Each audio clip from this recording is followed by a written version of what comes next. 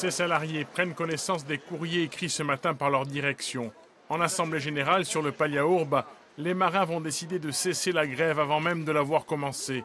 Sur le papier, les patrons de la Méridionale et de la Cortica Linea donnent satisfaction à la CGT. Les deux compagnies euh, euh, font état de leur volonté euh, commune de renouer un partenariat qui a été abandonné pour des raisons commerciales et financières entre les les actionnaires des compagnies.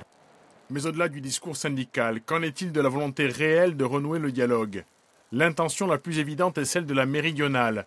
Une offre commune serait possible dès à présent.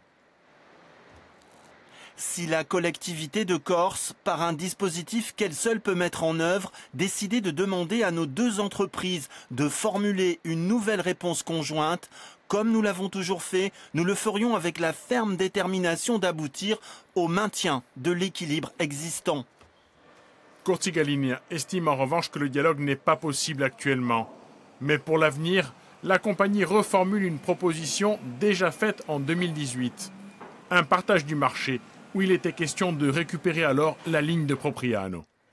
Seule la ligne Propriano-Marseille était proposée par Corsica Linea, mais avec un navire de la Méridionale et ses équipages en propre sous la forme d'un affrètement de navires armés. Problème, à l'époque, cette proposition avait été refusée par la Méridionale.